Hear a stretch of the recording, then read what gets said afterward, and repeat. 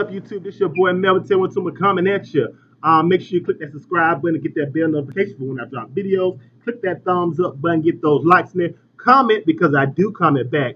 Share this on all of your social media sites, as well as follow me on all of my social media sites at Melvin Taylor Tuma.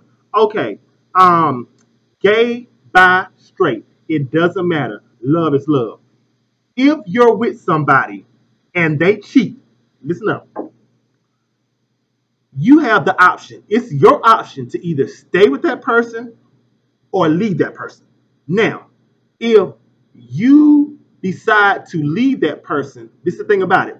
Don't go messing up their future relationships because you left that person. Move on, get you another babe, get you another boo, but don't be stuck in messing up their relationship because what you and this person had is gone because you left.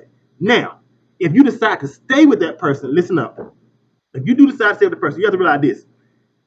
There's always going to be that thought in your mind that that person might cheat again. And you have to keep that thought because to me, you have to keep, you have to be able to protect yourself, protect your heart because you know what this person is capable of. Capable of.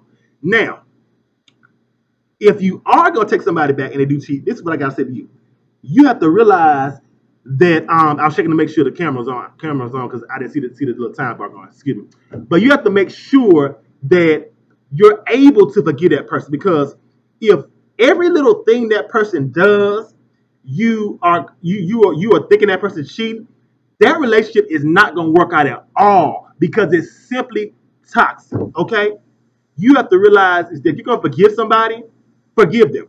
Keep that in your heart because you need to be able to go out your living. But you got to be at a, it's got to be some kind of level of forgiveness and trust there. Because in every relationship, there has to be forgiveness and trust. If there is, if there is no trust and trust and loyalty in a relationship, that is no relationship. That is just some Netflix and chill. You go your way in the morning, I go my way in the morning. That's all that is.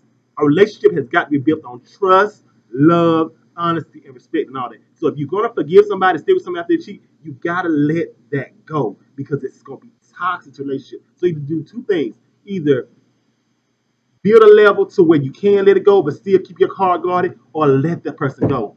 Let it do one to the other, boo. But you're you're gonna be with somebody, let them go or forgive them. Point blank. Your boy Melvin Tillman Happy Hump Day, you guys.